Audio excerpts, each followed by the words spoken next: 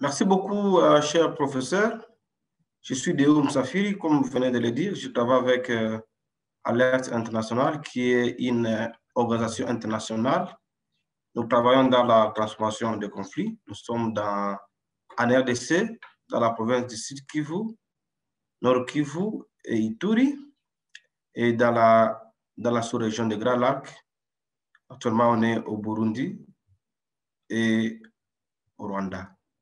J'ai eu la chance euh, de travailler dans la zone comme euh, accompagnateur des organisations locales et nationales, mais aussi travailler auprès des membres des communautés comme euh, chercheur, mais aussi accompagner les dialogues démocratiques, les différents dialogues tenus dans la zone.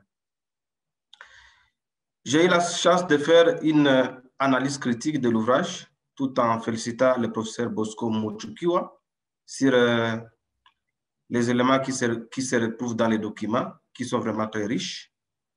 Le professeur a parlé sur euh, la non-collaboration et coordination des acteurs des organisations de la société civile qui travaillent dans la zone.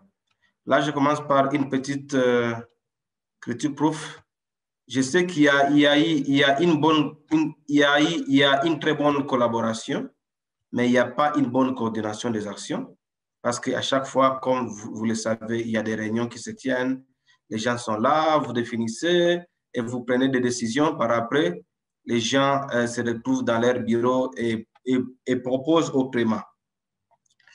Il y a, le professeur aussi a parlé sur euh, la mosaïque des, des organisations nationales et internationales qui travaillent dans la zone. C'est vrai, il y a la mosaïque, mais il y a quand même quelques, quelques, spécificités prof. Donc, il y a des organisations qui sont spécialisées dans les conflits fonciers, il y a des organisations qui sont spécialisées dans les conflits liés aux mines, qui est aussi conflit foncier, mais avec des spécificités. Mais aussi, pour, pour, pour vous compléter, il y, a, il y a quand même des organisations qui, qui font le tout.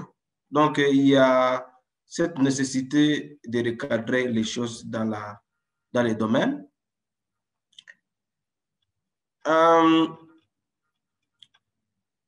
il y a aussi un grand problème.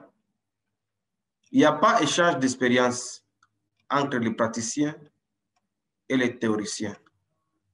Donc, il est important d'avoir cette vision.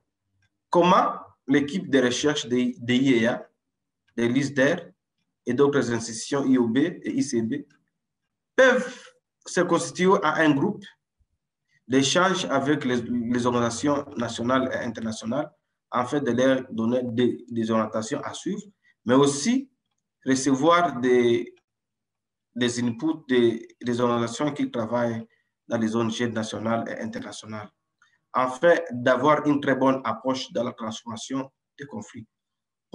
Prof Bosco, un prof euh, Kito Kamoke, vous êtes dans la thématique des années et des années, mais nous continuons à travailler avec la même approche depuis 20 ans.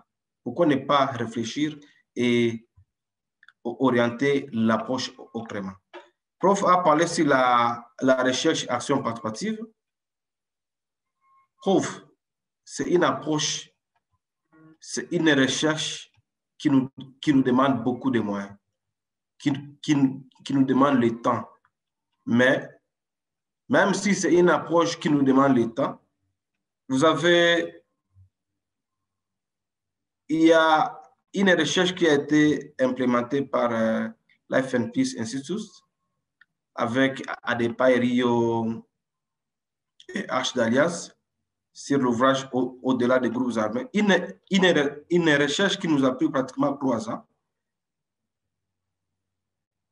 Mais il y a aussi de nouvelles recherches, actions participatives, qui se réalisent dans, dans, dans un tas record.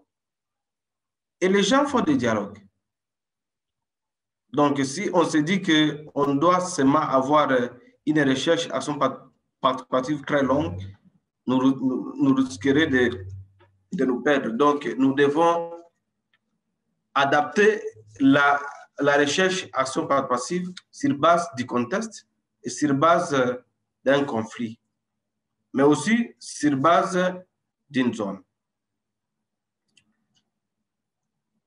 Mais aussi, on a parlé de comment travailler autrement dans la zone. Prof, travailler autrement, c'est de se liguer tous ensemble, les théoriciens et les praticiens doivent travailler ensemble pour réfléchir sur une, nouvelle approche. Il y a quand même des projets qui soutiennent euh, les recherches. Pourquoi ne pas aussi proposer qu'il y ait des échanges d'expériences? Il y a des structures communautaires qui sont au, niveau local.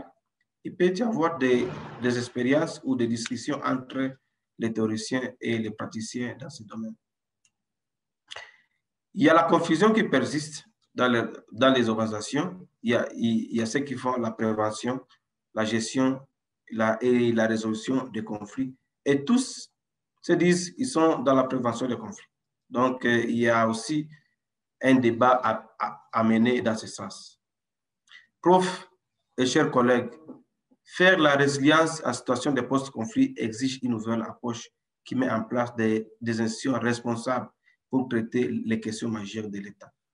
Le gouvernement congolais et les pays des Grands Lacs africains semblent laisser le pouvoir aux organisations nationales et internationales. Pourtant, l'État devait jouer son rôle. Donc, nous devons aussi réfléchir et voir comment l'État doit renforcer ses capacités pour afin accompagner les, les, les initiatives de paix qui se, qui se réalisent dans la zone. J'ai fait quand même un regard, chez le professeur, sur les différents dialogues et séances de transformation des conflits qui ont été tenus. Et cette réflexion a été réalisée au niveau des alertes internationales et que nous, nous sommes vraiment euh, ouverts à collaborer avec les chercheurs comme vous qui pensent avoir des, orientations à, à, nous donner afin de, de bien peaufiner euh, notre méthodologie ou nos thématiques de recherche. Donc, je propose qu'il est, nécessaire de faire une analyse de tous les plans d'action de dialogue tenus dans les sites Kivu et l'Est en particulier, afin de passer à revue les décisions réalisées et le pourquoi des actions non réalisées. Les acteurs politiques et sécuritaires sont-ils invités à prendre part dans les activités au même niveau que les acteurs ou les accompagnateurs Est-ce qu'ils ont la même philosophie des activités que nous? Donc, nous devons leur impliquer avant, pendant et après. Le financement des, des, des, initiatives de dialogue doivent être coordonnés pour permettre l'accompagnement de ces derniers après les dialogues. C'est aussi important d'être réaliste, prof et de gérer les attentes pendant les dialogues, car les promesses de mesurer risqueraient de ne pas avancer un acte d'engagement ou un dossier spécifique.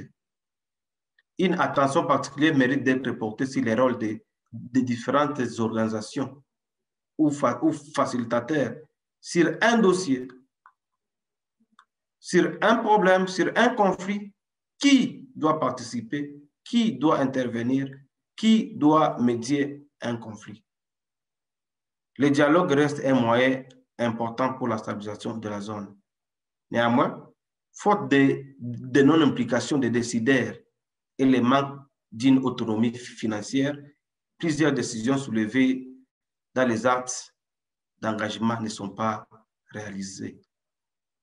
Il est donc important de les impliquer avant, pendant et après, comme je venais de le dire. Il est, il, est difficile d'établir un plan d'action opérationnel sans définir les mesures d'accompagnement de, ces derniers par les autorités, les membres des communautés et les partenaires. Malgré la mise en place de structures communautaires ayant la mission d'évaluer les niveaux d'irrespect d'engagement de chaque partie prenante, cette procédure souffre de, son exécution compte tenu des non-accompagnements techniques et financiers suite, au projet d'une courte durée qui accompagne le processus. Prof Bosco et chers euh, participants, la province du Sud Kivu a connu l'insécurité depuis la guerre froide.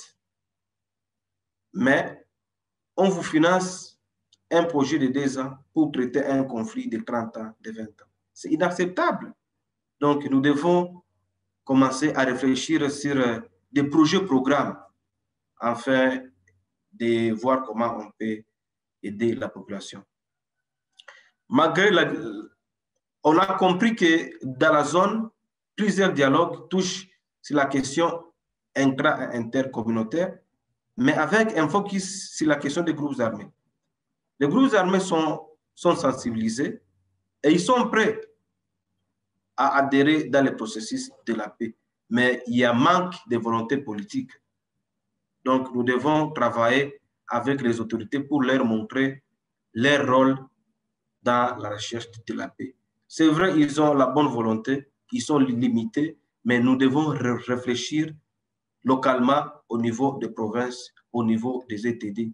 Qu'est-ce que les autorités à ce niveau aussi peuvent faire pour sauver la situation?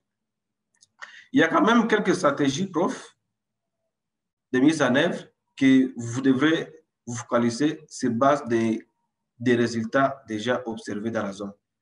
Il y a une stratégie communautaire. Donc, nous devons continuer à avoir des dialogues, mais avec un focus sur la jeunesse, sur les activités de cohésion sociale. Mais aussi, euh, une stratégie axée sur les comment faire impliquer les femmes, la jeunesse.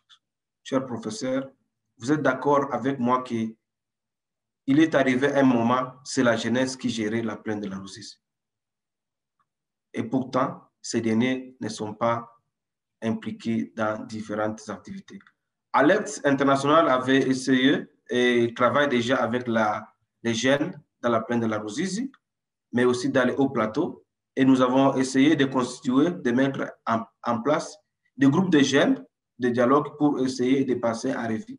La question de, de quand on a commencé un projet à Boguera, ce n'était pas facile, mais avec la jeunesse, on a, on a eu à asseoir le projet et que ces jeunes, ils s'étaient dit, voilà, nous devons nous, nous devons nous liguer ensemble pour la recherche de la paix. Il y a aussi une stratégie axée sur la sensibilité au conflit et le principe de Dunwam, qui permet de réduire les effets négatifs des interventions sur les dynamiques des conflits et d'accroître les effets positifs pour la consolidation de la paix. Il y a l'outil scorecard communautaire la plaine de la Russie, Léo, les moyens Platon de Fizi, Ouvira Calais, est rongée par les conflits intra et intercommunautaires.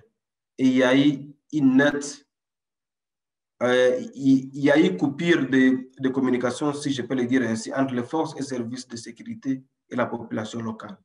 En utilisant l'outil Scorecard, c'est un outil qui vous permet d'évaluer la qualité des services rendus par les forces et services de, sécurité mais aussi l'implication de la population sur, cette, si ce service rendu. Donc, c'est l'outil qui nous, qui nous permet d'être redevables vis-à-vis d'une partie.